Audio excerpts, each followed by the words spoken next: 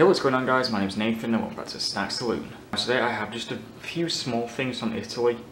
This is going to be the last of my Italian videos for a while, but I have four things and they're all candies except for, well actually I think two of them are chocolate. I mean there's, there's some, there's some chocolate and some candy, put it that way. I'll start off with this, and I'm sure I've tried this in a video before, but I can't think when. It just looks familiar because I remember like commenting that this looks like a almost like a stick of butter that you would find in a supermarket, or at a restaurant I should say. But it just says Sorini on it, and this is Sorini Gia... Mm, I'm not even going to try and pronounce that, but it's hazelnut chocolate. Let's get this open. Yeah, it is just a slab of chocolate.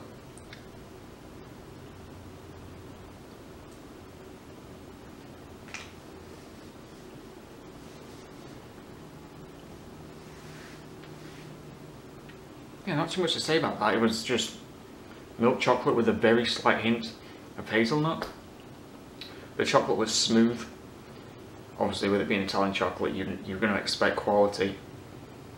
But yeah, that was good. And then I have a cappuccino Sorini. So obviously Sorini again.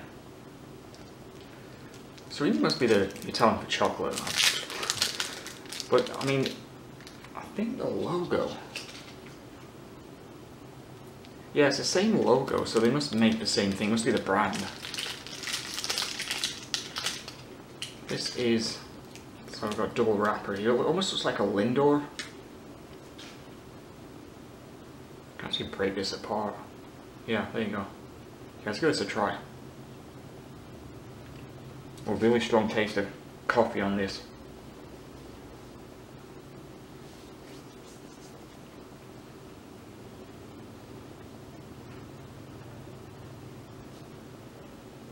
Yeah, I don't think I've had something that claims to be coffee flavoured that had that strong of a taste. Yeah, that was really good. Okay, now I have these two. I think they're boiled sweets.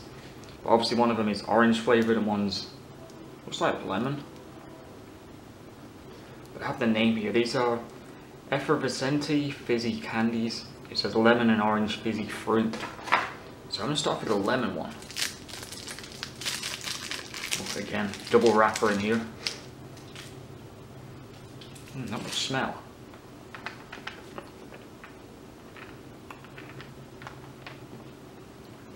Oh, I can see where the fizziness is coming in. It's almost like lemonade.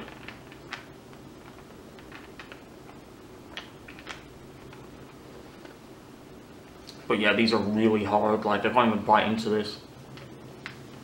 Okay, yeah, it's really strong flavour.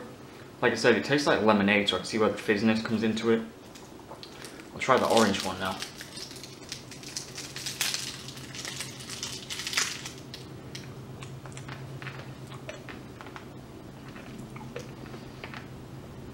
Hmm. Not as much fizz to this one.